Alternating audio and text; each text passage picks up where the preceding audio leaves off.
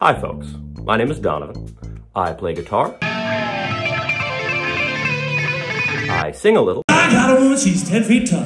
Sleeps in the kitchen with her feet in the hall. I was the first person to perform a standing 720 windmill dunk.